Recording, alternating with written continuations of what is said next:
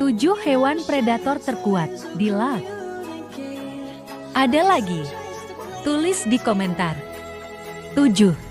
Ikan barakuda Enam Hiu macan Lima Paus sperma Empat Gurita raksasa Tiga Buaya laut Dua Paus orca 1. Hiu putih